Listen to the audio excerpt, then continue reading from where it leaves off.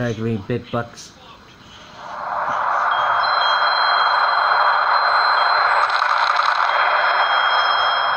Please be. Hope we get crushed by another sign!